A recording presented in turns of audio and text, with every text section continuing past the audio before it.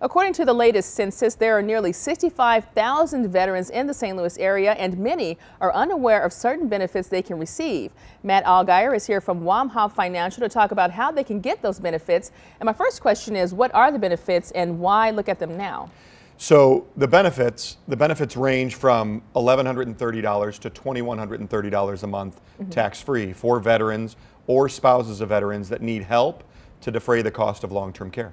Okay, so it's a situation that a lot of people just, this benefit has always been there for the most part? The benefit much? has been there for, for various and sundry years, but most people don't know about it, or those that do feel as though they can't receive it because they cannot pass the qualifications to receive it. Okay, so at this point, um, what should people do if they're wondering if they are part of this then? What we suggest as financial advisors is find a financial advisor that focuses on this mm -hmm. as, a, as a main part of their practice. Mm -hmm. Find an elder law attorney, not an estate planning attorney.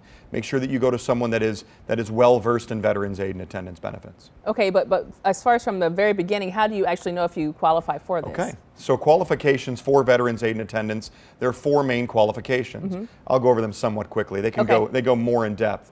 But you have to have served 90 consecutive days in the military. Mm -hmm. One of those days has to have been during a period of wartime or conflict. Mm -hmm. If you received a benefit, if you received a discharge other than dishonorable, you've achieved that qualification.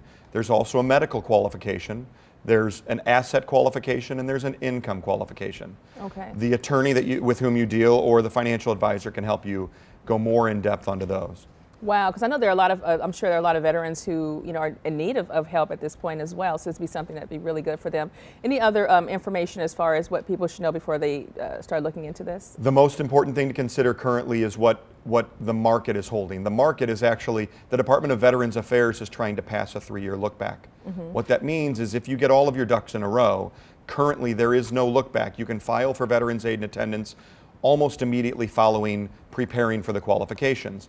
Okay. Coming very soon, within the next month, there will be there will possibly be a regulation that will uh, be a 36 month stipulation. You will have to wait 36 months from the time of achieving those qualifications mm -hmm. in order to receive benefit. Mm -hmm. And the wonderful part, once again, is that this is some tax-free money. It's all tax-free. Yeah, it's tax-free for long-term care benefit for those that that are in um, independent living, assisted living. So it's, it's an amazing benefit for those that want to defray cost. Okay, any other insight into this? Um, check it out. Mm-hmm. Absolutely mm -hmm. check it out. Talk to an advisor that, that is well versed. Talk to an attorney that's well versed. All right, thank you, sir. Matt Allgaier, appreciate your time. Thank you. All right.